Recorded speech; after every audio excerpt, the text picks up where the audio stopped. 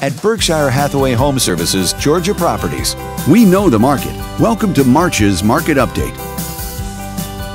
Let's take a look at residential real estate activity in your area during the month of February. The number of active listings was stable from one year earlier and did not change from the previous month. As you can see, the median listing price for the month was just over $510,000. Compared to last year, the average number of days units spent on the market before being sold was up 15%. The median sale price was just over $420,000. The number of units sold increased 15% year over year and increased 30% month over month. Thanks for watching. We hope you use this information to make smart, informed decisions in your upcoming real estate transactions.